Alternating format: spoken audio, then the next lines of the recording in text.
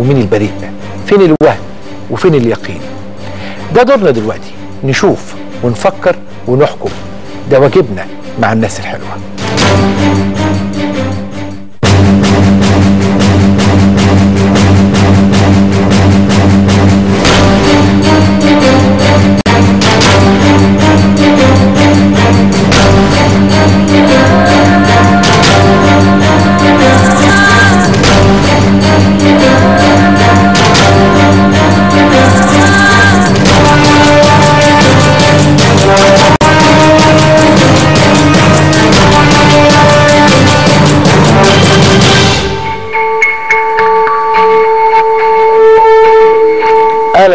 النهارده يوم مهم وضيف شديد الأهمية. أهمية اليوم في إن إحنا هنتكلم على عنوان اسمه زوجة أو نقدر نقول كابلز بدون أبناء. بس هنركز على الزوجة. واضح قوي إنه هي دي الفكرة الأولى عندنا.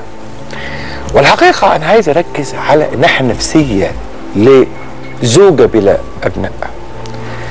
الأمومة عند الست أكبر بكتير من رغبة الأبوة عند الراجل ده علميا. الأمومة شيء أساسي في حياة كل ست. كل بنت من وهي صغيرة خالص أول لعبة بتقتنيها البنت وهي صغيرة عندها 3 4 سنين عروسة. وتبدا تعملها على إنها أمها أم. أم البنت الصغيرة خالص العروسة الطفلة. تكبر تجيب عرايس أكتر. الأولاد بيجيبوا حاجات كتير يجيبوا السيوف يجيبوا مسدسات ولاد الذكور يعني. وبعدين كل حلمها يعني حتى البنات اللي عندهم طموحات يبقى يوم الفرح بالنسبة لها واحد أهم يوم في حياتها. الراجل لا. الراجل عنده أيام كتيرة يوم يوم ممكن جدا يوم فرحه تلاقيه الصبح بيتخانق. أو مثلا الصبح تلاقيه في شغله وبيخلص business لو راجل أعمال مش عارف إيه الكلام ده كله والفرح فضل ساعتين أروح ألبس مش عارف إيه Hangover. اتكلم على الحكاية دي كده. فيلم أجنبي. الست لا. ده بتقعد تجهز لليوم دوت قبليها بسنة. طب البيت. طب أنا عايز أخلف. في مشكلة.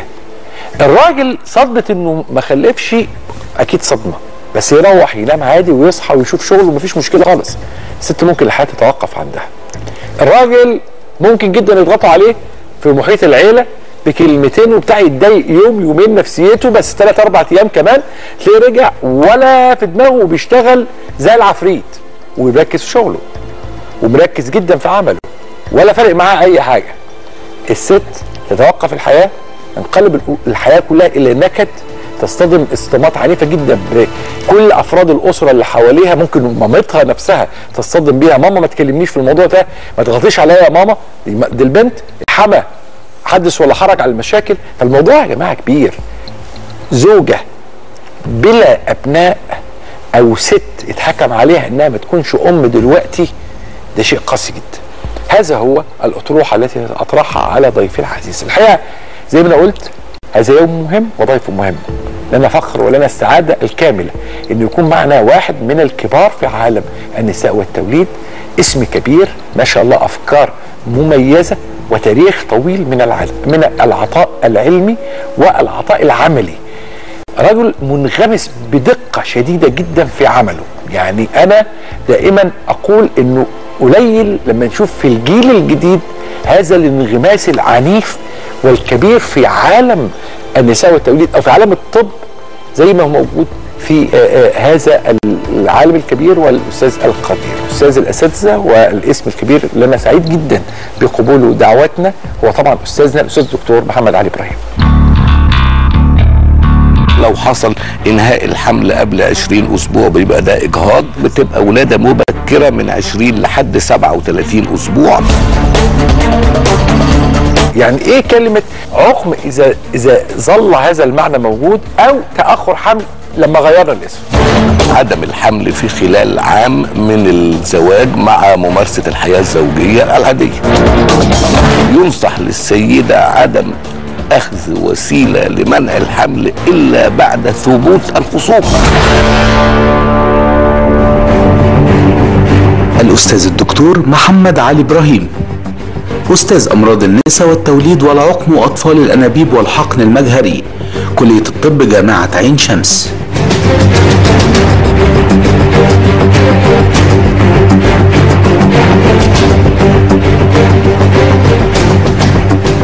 ضيفي العزيز استاذنا الاستاذ دكتور محمد عبد الرحيم نورت الناس الحلوة. أهلا بيك. شرف لينا كبير هذه الزيارة. بك يا فندم. آه، اختيارك لموضوع زوجة بلا أبناء موضوع مثير جدا. لماذا هذا التعبير؟ هو طبعا موضوع مهم جدا. وزي ما حضرتك قلت أن الأمومة هي آه، حلم كل آه، فتاة وأنثى. وزوجة بلا أبناء آه، موضوع مهم عندنا في طب وجراحة أمراض النساء والتوليد. ويشمل في جزء منه كبير هو تأخر الحمل والإنجاب أو ما يسمى ال- العقم وده من صميم أمراض النساء ومجموعات أخرى من آه، أسباب زوجة بلا أبناء اللي هو مجموعة الإجهاض المتكرر والولاده المبكرة المتكررة ووفاة الجنين ال- المبتسر أو ناقص النمو ووفاة الجنين داخل الرحم المتكرر. دول طبعا من علم التوليد. فطبعا هذا الموضوع بي بي بيجمع ما بين أمراض النساء كعلم وعلم والتوليد آه، كعلم. وطبعا موضوع كبير وفيه آه، يعني شرح آه، وفير وغزير يعني. يبدو أنه فيلم درامي اسمه زوجة بدون أبناء في الطب. يعني لو جاز لنا التعبير أنه نوعية من الميلودراما السوداء. يعني يعني دراما يعني في مشاكل في أحداث. وده يقبل سيناريوهات. كم سيناريو لهذا ال- المعنى؟ السيناريو آه، أم بلا أبناء آه، ممكن يشتمل مثلا على أربع سيناريوهات. الأول هو تأخر الحمل والإنجاب أو ما يسمى بالعقم. آه، طبعا كلمة العقم كلمة صعبة شوية لأنها تدي انطباع إن الموضوع لا حل له بينما إحنا في العصر الحديث بعد التقنيات الحديثة في مساعدة الإخصاب آه، نسبة آه، نسبة كبيرة جدا من السيدات اللي كان مفقود الأمل في حملهن بيح- بيحملوا ويجيبوا نتائج. فكلمة تأخر الحمل كلمة أسهل شوية على على إيه، على الناس يعني. فطبعا تأخر الحمل طبعا له أسباب أسباب ممكن تبقى في الزوجة وممكن أسباب تبقى في الزوج وممكن أسباب في الاثنين مع بعض الزوج والزوجة. وفي حالات بتبقى غير معلوم السبب لا في أسباب واضحة ظاهرة في الزوجة ولا في الزوج ويبقى آه، بيسمى العقم أو تأخر الحمل آه، غير معلوم السبب. فطبعا دي المجموعة الأولى من آه، زوجة بدون أبناء. مجموعة تانية ممكن تبقى اللي هم السيدات اللي بيحصل لهم الإجهاض المتكرر. وطبعا الإجهاض المتكرر ده آه، موضوع مهم جدا جدا بالنسبة لينا في أمراض نساء وولادة. ال- الإجهاض اولا آه، هو إنهاء الحمل قبل 20 أسبوع بيبقى وزن الجنين حوالي 500 جرام. آه، وطبعا حالات الإجهاض المتكرر كما ورد في يعني في تعريفها في الكتب العلمية إن هو آه، الإجهاض المتكرر المتتابع لثلاث مرات أو أكثر. فده طبعا ممكن آه، سيدة تحمل مرة واثنين وثلاثة وأربعة وفي بنشوف حالات سقطت عشر مرات و17 مرة وفي النهاية برغم إنها حملت عشر مرات أو أكثر وتسقط لدرجة إنها ممكن بعد كده هي من كتر الإحباطات اللي حصلت لها بسبب الإجهاض المتكرر هي من نفسها تاخد وسيلة لمنع الحمل عشان تدي. إيه نفسها فترة إنها تستريح من العبء النفسي بسبب الإجهاض عظيم. فدي المجموعة الثانية اللي هي السيناريو التاني. الثاني آه. السيناريو الثالث هو سيناريو آه وفاة الجنين المتكرر آه آه، داخل الرحم. آه طبعا ال- له أسباب آه عديدة يعني. آه، ويمكن طبعا زمان كنا بنشوف التكرار وفاة الجنين داخل الرحم آه، بسبب مثلا مرض ال- ال- البول السكري. لما ما كناش بنعرف نضبط مستوى الجلوكوز في في الدم زي ما إحنا بنعمل ال- الأيام دي هي. وأسباب أخرى كثيرة طبعا ممكن تبقى تحمل مرة واثنين وثلاثة وتبقى ال- اللي يحصل وفاة الجنين داخل الرحم. وفي النهاية المحصلة إن السيدة ما عندهاش أبناء. السيناريو الرابع لزوجة بلا أبناء هو سيناريو تكرار الولادة المبكرة ووفاة الجنين أو وفاة المولود بقى. وفاة المولود إيه؟ بعد الولادة بسبب نقص الإمكانات ال- للحضانات وكده. الولادة المبكرة طبعا إحنا عارفين الحمل 40 أسبوع من أول يوم في آخر دورة شهرية والحمل بالأسابيع وليس بالشهور ومن أول ال- الحمل لحد 20 أسبوع. لو حصل إنهاء الحمل قبل 20 أسبوع بيبقى ده إجهاض ولو حصل ولادة بعد 20 لو حصل آه، ولادة بعد 20 أسبوع بتبقى ولادة مبكرة من 20 لحد 37 أسبوع. بعد 37 أسبوع تبقى ولادة آه، مكتملة. طبعا الطفل المبتسر أو الطفل غير كامل النمو آه، الولادة المبكرة دي هي تمثل 75% من وفيات حول الولادة. يعني عندنا المعد آه perinatal mortality وده بيؤخذ بيه علامه على تقدم خدمات الولادة في الدولة. يعني الدول المتقدمة تجد معدل وفيات الأطفال حول الولادة 75% منها بسبب الولادة المبكرة اللي هي ولادة قبل تمام 37 أسبوع وطبعا ال 37 أسبوع يعني لو واحدة 36 أسبوع ما هو طفل كويس هيعيش وتبقى زي الفل. لكن الفكرة ما هو ده طفل مبتسر برضه على حسب التعريف لكن في آه، مولود 28 أسبوع وزنه آه، كيلو أو كيلو 100 جرام. فطبعا ده معرض لكل مشاكل الايه ال- الأطفال المبتسرين واللي ممكن تؤدي إلى وفاته. عظيم. هذه ده الفهرس بتاع السيناريوهات الاربعه أيوة. هنبدأ بالسيناريو الأول. أعتقد إنه يمكن يعني ال- ال- السيناريوهات الاربعه ياخدوا منها حلقات يمكن حلقتين أو أكتر حسب ال يعني ال ال ال الترتيب الحواري لأنه الموضوعات مع حضرتك أكيد هيبقى فيها تفاصيل كتير. لكن هبدأ بالسيناريو الأول وهو سيناريو مثير. اثنين زوجين جولك مصابين بالعقم بعقم يعني إيه؟ ما هو العقم دي كلمة فظيعة يعني كلمة قاسية جدا. يعني ما عندهمش أولاد قبل كده ما رزقوش. لا الست حملت قبل كده ولا الراجل اتجوز وكان عنده أولاد ولا الست كانت اتجوزت قبل كده ولا عندها أولاد. ولا حصل إجهاض ولا حاجة خالص. هم لسه هم جايين اهم فالسؤال الأول يعني إيه كلمة عقم إذا إذا ظل هذا المعنى موجود أو تأخر حمل لما غيرنا الاسم؟ العقم أو تأخر الحمل. طبعا له تعريف محدد وهو آه، عدم الحمل في خلال عام من الزواج مع ممارسة الحياة الزوجية ال- العادية. آه، لأن الحمل أساسا بيبقى نسبته تراكميه يعني تراكمي يعني ال 100 و- 100 عروس وعروسة عريس وعروسة متجوزين بعد أول شهر مثلا 25% يحملوا بعد تاني شهر 35% في نهاية العام يبقى 85 ل 90% حصل فيهم حمل ويفضل نسبة العقم أو تأخر الحمل مثلا 10 ل 15% في البوبوليشن عموما يعني. هذا التعريف إن هو عدم حدوث الحمل في خلال عام من الزواج أو من الحياة الزوجية المنتظمة آه، ما ينفعش نطبقه في كل الحالات. يعني لو لما تجيلي زوجة مثلا آه، متجوز سنها مثلا 39 سنة أو سنها 40 سنة أو 41 سنة أو 42 سنة في ظل إن في ارتفاع سن ال- الزواج دلوقتي.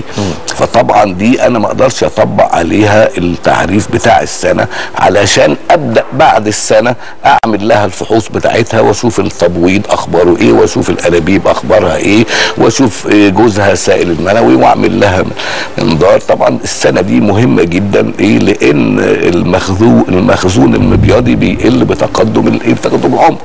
فهنا دي أقدر أستثنيها من الإيه؟ التعريف بتاع السنة. وأيضا أستثني ناس من التعريف ده لو في مشكلة سابقة قبل كده. يعني لو واحدة متجوزة وكانت قبل كده قبل الجواز مثلا عندها البطانة المهاجرة في المبيض مثلا وفتحت بطنها وشالت مبيض أو شالت جزء من المبيض. وطبعا دي أنا ما أقدرش أقعد أقول لها استني سنة على ما أعمل لك الفحوص لا دي تبدأ الايه الفحوص فورا. لو رجل مثلا وكان يعلم مسبقا إن هو عنده نقص في عدد الحيوانات المنوية أو الحركة أو كده برضو نبدأ في الفحوص عشان نشخص السبب. وده طبعا الحالات دي بنستثنيها من التعريف بتاع إيه الايه سنة ما نعملش أي فحوص إلا بعد سنة. ونقطة تانية برضو أنا بعمل فحوص لل- لل- لل- للخصوبة أو الانجاب آه، مش مسألة ال- عدم الإنجاب أو تأخر الحمل. في آه، زوجين يبقوا عاوزين يمنعوا الحمل لفترة معينة بعد الجواز على طول. كويس؟ فيبقى آه، لسبب دراسة لسبب آه، تجهيز بيت أو يعني حسب الظروف الاجتماعية. أنا برضو ينصح للسيدة عدم أخذ وسيلة لمنع الحمل إلا بعد ثبوت الخصوبة. كويس. طب أنا هعمل لها طب ما هي ظروفهم تحتم عليهم إنها تاخد حاجة لمنع الحمل لست شهور أو سنة. كويس. فأنا قبل ما أديها آه هذه الوسيلة لازم أتأكد الأول إنها ما عندهاش مشكلة. آه نعمل لها اختبارات تحاليل الهرمونات البروجسترون في اليوم ال 21 الاف اس اتش ال اتش الدرقية ال- البرولاكتين. أقدر يعني أعرف إن هي فيها تبويض كويس أو إباضة كويسة يبقى ما فيش ما يمنع إن أنا ممكن أديها وسيله منع الحمل اللي غالبا هتكون مثلا أقراص منع الحمل الايه ال- آه، الهرمونيه دائما تطلبون من الزوج إنه يكون آه عنده نوع من زي ما بيقولوا التعاون ويجي يحلل. وم يعني في صعوبات في المجتمع المصري ما زالت موجودة في بعض الأماكن. الآن في تقبل الزوج ليه؟ إن هو يعمل تحليل وبيربطوا ساعات بين القدرة الجنسية والقدره الإنجابية. يقول لك أنا ما أنا أنا قادر جنسيا. وعارف إن أنا قادر جنسيا. ليه بتقول لي تعمل تحليل؟ ما أنا راجل.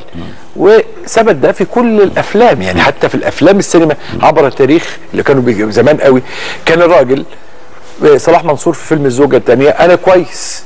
شوفي نفسك آه، واحمد زكي في فيلم شجر السمك وانت وأنا مش راجل ولا إيه آه هو على فكرة بدون قطع كلام حضرتك الزوجة الثانية إحنا لحد دلوقتي مش عارفين مين اللي كان عنده مشكلة. مشكلة صلاح منصور هو ده جميل. جميل يعني لأن سعاد حسني. لأن سعاد حسني كانت حامل من جوزها من جوزها، اللي هو سرحان. اللي هو شكري آه بالظبط ما هي هي قالت له أطلع في البلد وأقول لهم ان آه، ما هي كان في حاجة في حاجة برضه في تحس إن في مشاهد في الفيلم يعني في السيناريو نفسها آه. اتشالت آه. لكن الزوج في المصري عنده انزعاج من القضية دي. بيربط دائما ما بين طلب تحليل السائل المنوي وبين قدرته الجنسية. طبعا القدرة الجنسية الكفاءه الجنسية والقدرة الجنسية شيء والقدرة على الإنجاب شيء آخر. يعني ممكن رجل سنه 70 سنة و يعني وينجب آه، وممكن يبقى شاب 20 سنة وعنده نقص في الحيوانات المنوية لأي سبب ونقص في الحركة ولا ينجب. القدرة الجنسية شيء والقدرة على الإنجاب شيء آخر. وكثير جدا من الأزواج فكر بياخدها على كرامته أو يعتقد إن ده شيء يمس رجولته أو آه، كده. فممكن ي... في ناس بترفض طبعا ولكن طبعا ده هو أول حاجة بعملها لأن هو أسهل حاجة. يعني أسهل حاجة ده لن يكلف آه، شيء لا, لا هيعمل موجات صوتية ولا هيعمل منظار الرحم ولا هيعمل منظار البطن ولا هيعمل تحليل هر- هرمونات. و فسهل جدا وفي وأيضا إن هو الاسباب الاسباب في الرجل آه، تصل إلى 40 ل 50% من من أسباب ال- تاخر احتمالية الحمل تأخر الحمل. يعني أنا بنشوف عيانين بقى لهم سنوات ثلاث سنين وأربع سنين وسبع سنين والزوجه عم عم- عمالين يدوها أدوية منشطة للإباضة آه، دون حتى أن يعرف إذا كان هي عندها تبويض ولا لأ ولم يلتفت إلى الزوج اطلاقا كويس. وفي النهاية تجد إن الزوج آه، عنده مشكلة في العدد والحركة وممكن يطلع عنده دوالي في الخصيتين سواء شمال أو شمال ويمين. ولو كان عمل العملية مثلا من أول الجواز كان آه، زمان يبقى عنده آه، أطفال عيال رجالة. يعني. آه، بس فطبعا تحليل السائل المنوي آه، أول حاجة بنعملها في أي زوجين لأنه الأسهل ولأن الرجل كسبب من أسباب تأخر الحمل يمثل 40% تقريبا من الحالات. هنذهب إلى الزوجة بقى. الزوجة اسبابها كتيرة مشكله كثيره جدا طبعا. آه. نعد الاسباب ال- ال- الزوجة طبعا آه، أسباب في التبويض وأسباب في قناتي فالوب وأسباب في الرحم وأسباب في عنق الرحم. آه، أسباب التبويض التبويض ده وظيفة مهمة جدا. آه، بتحكمه ال- القشره المخيه المخ وبعدين الهايبوثالاموس أو تحت المهاد وبعدين الغدة النخامية الأمامية بتفرز الهرمونات التي تحفز المبيضين كويس لإنتاج البويضات وبعد كده المبيض بي بي بي بيطلع ال- البويضات بيطلع بويضة كل شهر آه، ليس بالضرورة. الناس فاكرة إن المبيض اليمين شهر والشمال الشهر اللي بعديه بالتبادل لا طبعا ممكن آه، تبوض ثلاث أربع مرات في هذا المبيض اليمين وممكن مرة بعد كده. ولو كانت شالت مبيض تبوض كل مرة من المبيض اللي, اللي موجود. فاولا إيه أسباب السبب الأول آه، في المرأة يعني هو عدم ال- التبويض.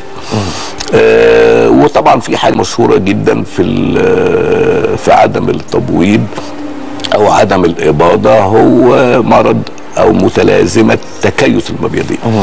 وتكيس المبيضين متلازمة محددة وليها تعريف محدد ويجب أن يتوافر فيها شروط معينة علشان تطلق هذا التعريف على على هذه المتلازمة. آه غير تكيسات المبيض. يعني ممكن يبقى في تكيسات وظيفية في المبيض بحكم تكوينه التشريحي ولا ينطبق وليست تكيس المبيضين. تكيس المبيضين طبعا متلازمة آه بيبقى فيها اضطراب في الدورة الشهرية أو عدم أو انقطاع الدورة الشهرية مع سمنة مع شعر زائد في الجسم مع صورة مميزة جدا للمبيضين في الموجات الصوتية. وال- ودي يعني ليها مواصفات محددة ومتفق عليها عالميا. وما ينفعش أي طبيب يشخص إن مريضة عندها تكيس مبيضين إلا أن يتوافر فيها هذه الشروط. كويس؟ لأن عندنا عيانين كتير جدا تقول لك أنا عندي تكيس مبيضين. عرفت منين يا ست تقول لك الدكتور قال لي مين يا ست اللي قال لي كذا إيه دليله على هذا الكلام؟ يا سيدتي الفاضلة تكيس المبيضين. لابد أن يتوافر فيه شروط معينة للتشخيص. ودي الشروط دي مش اللي واضعها ولا زمايلي اللي واضعينها ده إجماع عالمي كويس. الايه Rotterdam criteria دي لازم يبقى فيه كذا ال ال ال ال النسبة ما بين ال اتش والاف اس اتش ومنظر الموجات منظر المبيضين في الموجات الصوتية وعدد الحويصلات والشعر الزائد والسمنة. حاجات محددة لازم تبقى موجودة. فطبعا ده آه، متلازمة شهيرة جدا جدا في عدم التبويض ده بالنسبة لعدم الإباضة في السيده في الأنابيب طبعا انسداد الأنابيب. آه طبعا. آه، انسداد الأنابيب طبعا آه، بيحصل بسبب التهاب ال- الأنابيب قناتي آه، فالوب. وطبعا زمان كانت انسداد الأنابيب دي ما كانش لها علاج. يعني ما كانش لها علاج على الإطلاق لحد ما طلع الأطفال الانابيب لويزا براون في سنة 79 ودي كانت أول طفلة تولد في ال- الاطفال لا هو الحقن المجاري جه بعد كده جاب الأطفال الانابيب بال- بالوسائل المساعدة آه، المساعدة. مساعدة الإخصاب. وأصبح دلوقتي ال- المريضات اللي عندهم انسداد في قناتي فالوب بتحمل عن طريق طفل الأنابيب أو الحقن المجهري ده بالعكس حتى ممكن تبقى مريضة عندها ارتشاح في أنبوبة أو أنبوبتين فنضطر نشيلهم أو نقفلهم قبل كويس قبل ما نعمل لها الايه الح- الحقن المجهري. وحتى تستغرب تقول لك يا دكتور انت هتشيل لي الأنابيب ليه؟ أو هتقفل لي الأنابيب ليه؟ يا سيدتي الفاضلة ارتشاح في الأنابيب لما نيجي نعمل حقن مجهري ونسحب منك البويضات وبعد كده نعمل الايه الأجنة في المعمل وبننقل الأجنة للرحم ممكن السائل اللي موجود في أي من الأنبوبتين اللي فيهم ارتشاح يتسرب وممكن يبقى سبب من أسباب فشل الايه ال- الح- الحمل بعد الحقن المجهري فده بالنسبة للأنابيب. أسباب آه، في الرحم وطبعا الأشهر وال- والأكثر شيوعا هو الأورام الليفية. الأورام الليفية تمثل يعني بتبقى في 30 لخم يعني قول 30% من السيدات عموما. وبتبقى أكتر في الناس السمر. آه والأورام الليفية أورام حميدة 100% آه وممكن تبقى ورم ليفي واحد أو اتنين. ممكن تبقى أورام متعددة كثيرة جدا. وطبعا بيبقى في مشكلة جدا لما تبقى واحدة بنت لم تتزوج ويبقى عندها أورام ليفيه متعددة. وطبعا هي بتبقى خايفة تروح لدكتور أمراض نساء فضلا إن طبيب أمراض النساء ممكن يخاف ي- إيه ي- يتصدى يعمل لها. تصدى ليها. آه ليه يا سيدي؟ قال لك إن طبعا العيانة اللي هتعمل استئصال أورام ليفية لابد أن تقر وتمضي على إقرار إنها تشيل الرحم إذا لزم الامر ده كلام عالمي. ده م... لازم تمضي على كذا. آه. طبعا الكلام ده يعني صعب جدا جدا جدا نفسيا على آنسة لم تتزوج أو حتى تزوجت ولم تنجب إنها وعندها أورام ليفية تستدعي إن هي تتشال وتقول لها هشيل لك الأورام الليفية بس لازم توقعي القرار على ان نستأصل الرحم إذا آه لزم الأمر. طبعا الكلام ده يعني آه أنا الحمد لله ما يعني ما عنديش عيانة بعمل لها أورام ليفيه بتكتب هذا الإقرار. هو تكتب إقرار واحد إنها تشيل أورام ليفيه فقط full stop آه ليه؟ أورام اللي عمليه الاورام الليفيه وخصوصا لما تبقى كتيرة يقول لك إن ال myomectomy is a bloody operation bloody يعني مش شتيمه لا bloody يعني بتنزف كتير. وهي فعلا بتنزف وإذا كان هيتم استئصال الرحم أثناء الأورام أثناء استئصال الأورام الليفيه هيبقى بسبب النزيف. طيب إحنا بنستعمل vasopressin vasopressin ده هو آه، قابض للأوعية الدموية ب بيقلل النزيف بيقلل محيط مش النزيف بيقلل النزيف ده. بيمنع النزيف على الإطلاق يعني أنا أجيب لك صور الع- العيانين اللي إحنا شلنا منهم 30 و40 ورم ليفي دون أن تفقد مثلا آه، آه، 10 سم من من الدم لأن إحنا بنحقن الفازو بريسن ده هو داير داير كل ورم ليفي وبنش- بدون نزف وبالتالي ده يسهل لك انك انت تشيل كل الاورام. لأن أنا مش مفروض ان أنا اشيل الاورام الكبيره واسيب الصغيره. يعني آه، طب ما الصغير ده اللي هي. سنتي واتنين طب ما هيكبر بعد سنة واتنين ويجي الدكتور لا ده أنا شلت لك كل الأورام ولكن ده رجع. لا ما رجعش. أنت اللي سايبه. أنت اللي سايبه وبعدين إحنا ما عندناش رقيب عليك ومفيش حد بيصور العمليات دي فيديو عشان نعرف كنت سايبه ولا لا. وكمان العيانة أنت ما عملتلهاش إيه ما عملتلهاش موجات صو... ما عملتلهاش. موجات صوتية على الرحم بعد العملية مب... يعني ب... ب... بأسبوع أو كده عشان تشوف الرحم فيه اورام اللي فيها ولا لأ. كويس. فطبعا استخدام الفازو بريسن ده كعقار قابض للأوعية الدموية أثناء ال- استئصال الاورام الليفيه بيقلل النزيف جدا جدا جدا. يكاد يكون يعني bloodless field ويقلل نقل الدم العيانه ممكن ما تاخدش ما عنديش عيانة بت- اورام اللي فيها بتاخد دم تاخد دم ليه؟ ما هي ما نزفتش أساسا.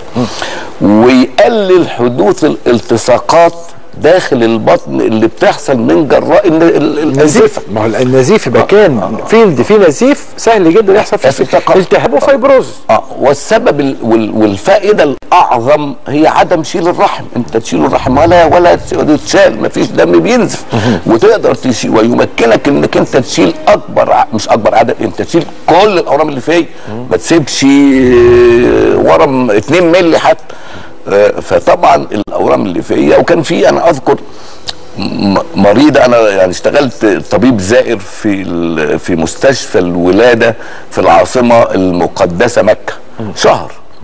وطبعا صرح كبير جدا جدا حاجة فخيمة جدا جدا. ولكن يعني ال- ال- المستشفى مليء بالإمكانات ولكن تنقصها الخبرات. كويس آه، في العيادة عدد كبير جدا من العيانين. عيانة طبعا جت سنها 38 سنة عندها أورام ليفية متعددة. بقى لها سنة بتيجي العيادة. النهارده روح يا ستي اعملي موجات صوتية بكرة روح اعملي رنين مغناطيسي. مش عارف بعده لنا أشعة مقطعية. والكل بيهرب من العملية خوفا من إن هي آه تنزف منهم أو يشيلوا الرحم ودي بنت بنوت ما اتجوزتش فتبقى مشكلة بالنسبة لهم أنا شفتها تاني يوم كنت شايل لها اللي هي الصورة اللي جابها ال- المعد شايل لها 40 ورم ليفي من الرحم ولم يتبقى ورم ليفي صغير ولا حتى 2 ملي دون أن تأخذ آه، نقل دم دون أن توقع إقرار آه، شيل الرحم فطبعا ده الأورام اللي فيها موضوع مهم والأورام اللي فيها على فكرة سبب من أسباب تأخر الحمل وسبب من أسباب الإجهاض الإجهاض المتكرر وسبب من أسباب الولادة المبكرة المتكرر. يعني هي كمان تشارك في كل آه، في السيناريوهات المجموعات دي في كلها المجموعة في بتاعتها. الثلاث سيناريو اللي جايين. دول في الآخر هتؤدي إلى ان الزوجه تبقى بدون أبناء اللي هو العنوان بتاعنا كلمة يعني عقم غير مفسر السبب. كلمة مثيرة وبدأت تبقى كتيرة ومؤتمرات كتيرة على العقم غير مفسر السبب وانتوا عارفين الأسباب. طب ليه برضو محتفظين بالاسم؟ هو بص أنا يعني أنا ليا رأي في طبعا مفيش حاجة اسمها حاجة بدون سبب أكيد في سبب. آه يعني. بالظبط ما هو. وكان ال unexplained infertility أو العقم غير المفسر أو غير معلوم السبب ده المفروض كان زمان لكن بس مثلا يعني قبل المناظير مثلا ما كناش نقدر نشخص حالات البطانه المهاجرة اللي موجودة في البريتون في الايه في ال في في, في البطن وال- والحوض. آه. فكان يبقى غير معلوم بالنسبة لنا فيبقى ده سبب ال- العقم مثلا. وإحنا مش عارفين ولكن بعد اختراع المناظير والتقدم المذهل في المناظير التشخيصية والجراحية كويس نقدر نشخص حاجات ما كانتش بتتشخص إيه زمان. وبالتالي المفروض كل كل يعني ما يتقدم الزمن والعلم ال ال التعري ال ال العنوان ده أو حكم غير مفسر السبب ده يقل لأن أكيد في سبب يعني. بس لكن هو طبعا اللي هو الغير الغير معلوم السبب إنك بتعمل الفحوص كاملة للزوج لتحليل السائل المنوي وتتأكد إن ال- العدد آه، كويس أكتر من 15 مليون في السنتيمتر المكعب حسب آه، حسب آه، منظمة الصحة العالمية والحركة كويسة.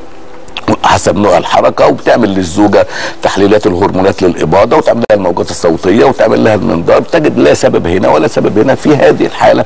يبقى غير معلوم السبب بس غالبا هتلاقي سبب يعني. هنتقل إلى السيناريو ال- اللي هو بيسموه قاسي جدا بقى. الايجاد المتكرر. قسوته ست. هي القسوة دايما تيجي من الحزن بعد الفرحة أو بعد الأمل بعد قربه. ليه الايجاد المتكرر عايزين نتكلم عن اسبابه وليه ليه التأثير النفسي ده؟ يعني السينما رصدت أكتر من إجهاض عند الستات نفسيا بيتضايقوا جدا جدا. طبعا الإجهاض هو إنهاء الحمل قبل 20 أسبوع. آه، ده طبعا الإجهاض فيه إجهاض تلقائي اللي هي تسقط من نفسها. وفي إجهاض آه، محرض عليه أو بفعل فاعل يعني. آه، كلامنا على الإجهاض التلقائي.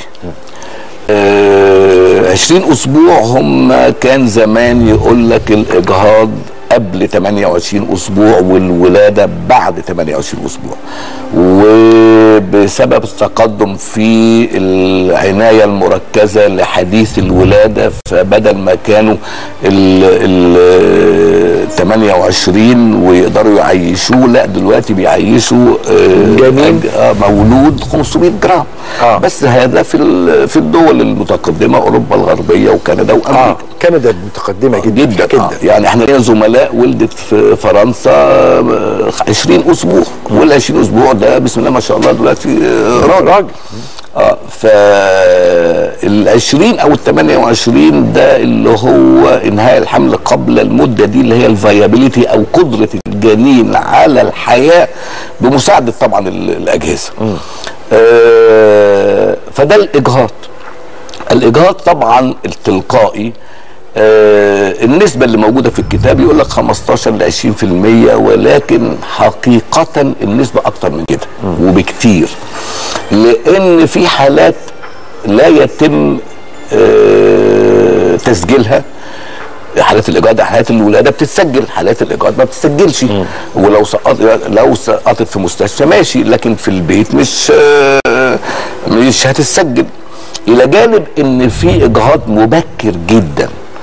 يعني قبل ال ال المريضة ما تكتشف إنها حامل تكون سقطت. السيناريو ده إن هي تكون حامل وبعدين الدورة تتأخر عليها يومين ثلاثة كويس؟ وهي تكون حامل يعني لو عملت اختبار حمل في الدم بالأرقام في هذه الفترة يطلع إيجابي ويديك رقم. بعد ثلاث أربع أيام ينزل تسقط وينزل عليها دم. هي المريضة تقول لك قال تقول لك ده الدورة كانت يعني الدورة اتأخرت. وبعدين جت بعد أيام وهي كانت حامل.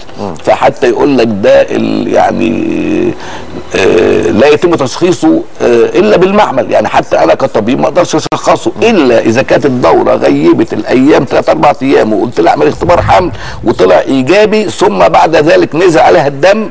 كويس. إيه؟ ونعمل اختبار حمل يطلع سلبي. فده يتم اكتشاف الإجهاض المبكر.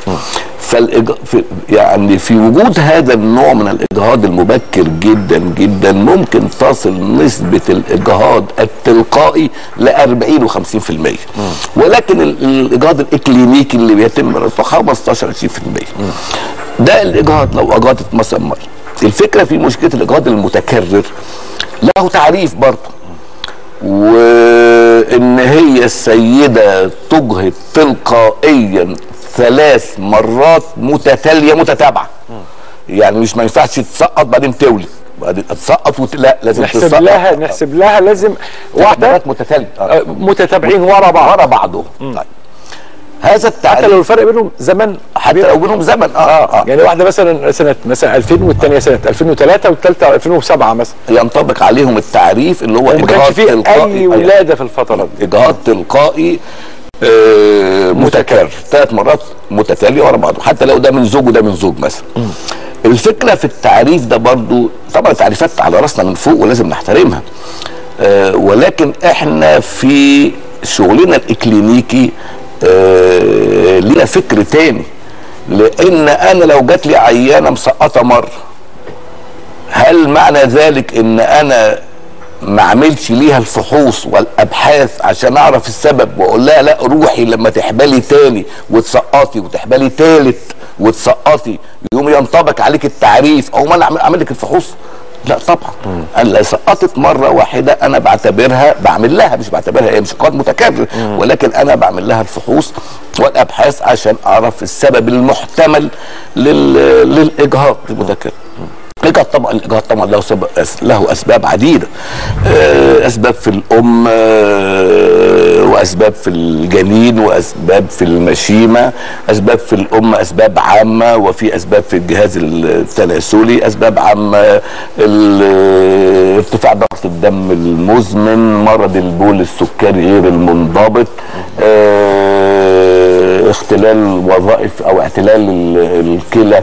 المزمن على رأي حبيبنا الأستاذ دكتور أسامة محمود يعني. الأستاذ دكتور حسام موافي برضه. أستاذ- آه. لا، أستاذ- الاستاذ دكتور حسام موافي شرح الك- الكرونيك آه، آه، والدكتور آه. اسامه محمود شرح الأكيوت رينال فيلير آه، غطوا ال- ال- الحالات الاستاذ الفاشلة. دكتور حسام موافي ده أستاذ أستاذ- مصر أستاذ كلها مصر يعني كلها. طبعا الاستاذ دكتور أسامة آه، محمود آه، آه، حبيبنا جدا حبيب يعني. الملايين آه في طبعا. عين شمس يعني. آه طبعا.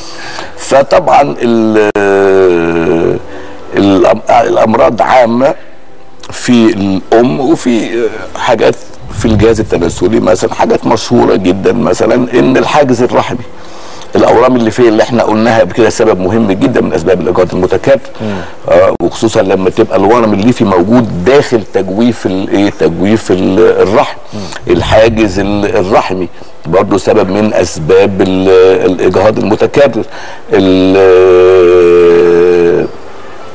برضه في واللحمية برضه، برضه الحاجات ال- المشهورة. انت- يعني ممكن تبقى يعني ممكن بس أصل وجود اللحمية أو ال polyp في اللي هي جزء هو جزء من ال endometrium من بطانة الرحم وده ممكن ينزل مع الدورة يعني ممكن تلاقيها موجودة ممكن ماشي يعني ما هي يعني ما هيش حاجة constant ثابتة بحيث تبقى موجودة آه، ممكن كمان ال- الالتصاقات داخل الرحم بيبقى فيه التصاقات يا إما التصاقات كاملة بحيث الجدار الأمامي يلزق في الجدار الخلفي يبقى ده الدوره ما بتجيش ودي استحالة يحصل حمل على الإطلاق كأنها شايلة الرحم. كويس ده اللي هو complete Asherman syndrome وفي ال partial اللي هو إيه التصاقات جزئية ده يبقى سبب من أسباب ال- الإجهاض المتكرر. سبب مهم جدا بقى من أسباب الإجهاض المتكرر هو اتساع عنق الرحم. ال cervical incompetence أو عدم كفاءة عنق الرحم في الحفاظ على الحمل كويس. الرحم يحتوي الحمل وعنق الرحم إيه يمنع إيه نزول يعني يحافظ على الحمل.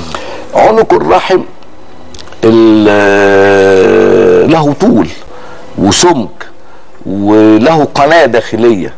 آه، عنق الرحم الداخلي آه، ده بيتقاس بيتقاس بالموجات الصوتية. آه، فطبعا الكلام ده آه، أسبابه إن ممكن واحدة عملت آه، تفريغ مثلا قبل كده أو عملت عمليه توسيع فبيوسع بزيادة.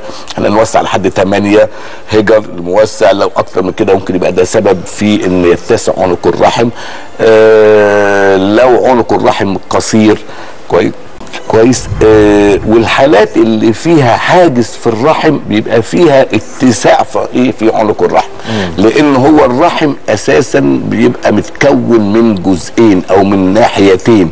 الايه ال Müllerian اليمين مع الشمال بيندمجوا مع بعض. في البيولوجي، في علم آه، الأجنة. الأجنة. آه. فوجود الحاجز بيبقى اللي هو ال- ال- ال- الاندماج أو الاتحاد ما بين الجزئين على على على واسع شوية فبيبقى زيه دائما في العنق الرحمي يعني لو واحدة فيها حاجز رحمي المع... ممكن نشيل لها الحاجز ال- الرحمي علشان ما يحصلش إجهاض.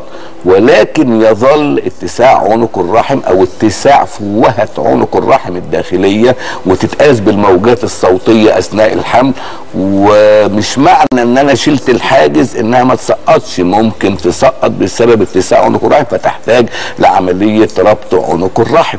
كويس؟ عملية بسيطة وسهله إلا إذا كان عنق الرحم مدمر أو قصير جدا بحيث لا تستطيع إنك أنت تعمل آه، ربط عنق الرحم من المهبل كويس كان؟ يعني ممكن نعمل آه، عملية ربط عنق الرحم من البطن أثناء الحمل. تبقى حامل ونفتح بطنها ون- ونمسك ال- الرحم. طبعا بحرص شديد وبنعمل الربط ده هو إيه، آه، لعنق الرحم وده ربط مستديم. ولما تولد تولد قيصرية لأن الربط ده ما بيتفكش. ولما تولد ممكن تحمل بعديه تاني على الربط. هكذا فطبعا إيه ده آه، اتساع عنق الرحم ده سبب آه، مهم من أسباب الإجهاض آه، المتكرر. المتكرر. ده السيناريو الثاني في حوارنا اليوم. يبقى اثنين سيناريو تانيين أكيد هناخدهم في اللقاء القادم بس ونحن نختم اليوم في هذا الحوار المثير العلمي الرائع. إيه أكتر ما يضايق أستاذنا في متابعتك للجو العام أو بمعنى صح نقدر نقول ال- ال- ال- ال- ال- النظام دلوقتي داخل مصر في التعامل مع تأخر الإنجاب أكيد في حاجات بتضايقك أوي. والله يا دكتور أيمن يعني للأسف الشديد هناك ممارسات طبية غير علمية وتغلب عليها يعني ال- الاذكار تجارية. تجارية صفة تجارية و آه، ويبقى في كذب على العيانين أنا كراجل طبيب أنا المفروض بمشي زي الكتاب. يعني مش همشي على مزاجي ولا على دماغي. أنا راجل آه، شوف الكتاب بيقول إيه نعمل زيه. ولما أشخص حاجة معينة أشخصها بحيثيات. يا سيدتي الفاضلة أنت عندك كذا. علشان كذا وكذا وكذا. والحاجات دي كلها مثبتة. يعني انت عندك ورم ليفي كذا مثبت بالموجات الصوتية ومتصور صورة والورم الليفي طوله كذا وعرضه كذا ومكانه كذا ودي سبب. يا سيدتي الفاضلة انت عندك ع- إيه آه، عدم إباضة. أو التبويض. ضعيف. طب يا ستي إيه الدليل على كده إن إحنا بنعمل تحليل البروجسترون في اليوم الواحد وعشرين من بداية الدورة؟ لما يطلع طبيعي يبقى أنت التبويض سليم يبقى أنت مش محتاجة أدوية منشطة للتبويض. أنا كل العيانين بيجوا لي تبقى واخدة أدوية منشطة للتبويض سنين طويلة. طب يا سيدة الفاضلة الطبيب اللي كنت عنده قبل كده ما طلبش منك ان إنك تعملي تحليل البروجسترون في اليوم 21 عشان نعرف إذا كان في تبيض ولا لأ. تقول لك ما عملتوش. مثلا فأنت العيان أنت بناء على إيه؟ بتدي المريضة أدوية منشطة للإباضة كويس سواء كان عن طريق الفم أو الحقن والحقن غالية كويس وهي المريضة أساسا آه، بتبوط وممكن يطلع سبب في جوزها أساسا يعني وتضيع عليها سنة واثنين وثلاثة غير ما تنفقه من أموال. مم. حقيقة وجودك معنا شرف كبير لينا وسعيد جدا بتلبيتك الدعوة. الدعوة التي استمرت يعني السنة- سنتين. وحبيب ده يعني شرف كبير لينا وأنت. دائما يعني آه، آه، آه، ليك آه، كاريزما خاصة وليك حضور كبير. وطبعا أكيد تلامذتك آه، في مصر ناس كلها الأجيال اللي كان ليها أكيد السعادة إنها تتلمذ عليك. هيبقوا سعداء جدا النهارده بسماعهم للجزء الأول من المحاضرة ويبقى الجزء الثاني المثير في أحد السيناريوهات أو في ذكر السيناريوهين الباقيين لبنت غلبانة مصرية أو عربية أو حتى في العالم كله تعاني من انها ما عندهاش أولاد. نورتنا وشرفتنا ويعني زي ما بيقولوا ننتظر اللقاء القادم على إن شاء الله إن شاء الله دكتور أيمن. ضيف عزيز أستاذنا والقيمة العلمية الكبيرة أستاذ الأساتذة الأستاذ الدكتور محمد علي إبراهيم كان منورا. بشكل كبير جدا منيرا في الناس الحلوة. والحقيقة حوار معه كالعادة لا ينضب من العلم والدقة الشديدة ووضع آه، قانونا هاما جدا بشكل وبتلقائيته المعهودة. نحن نشتغل أو نعمل طبقا للكتاب. According to the book. زي ما إحنا بنقول في الفيلد الطبي. محدش يشتغل من دماغه الله يخليكم. ودماغك لو فيها حاجة يبقى فيها الكتاب. فلما تشتغل من دماغك هتشتغل من الكتاب. في الآخر الكتاب الطب. يعني الفهلات في الطب قاتلة ومخيفة ومزعجة ومقززة خليكم دايما مع ناس حلوة. الناس اللي عندها borderline MS أو عندها مبادئ MS دول هيخضعوا برضه العلاج ولا لا؟ أحيانا بشخص العيان MS ما بديلوش علاج ليه؟ الأعراض بسيطة جدا ال- التغيرات في الأشعة بسيطة جدا السائل النخاع سلبي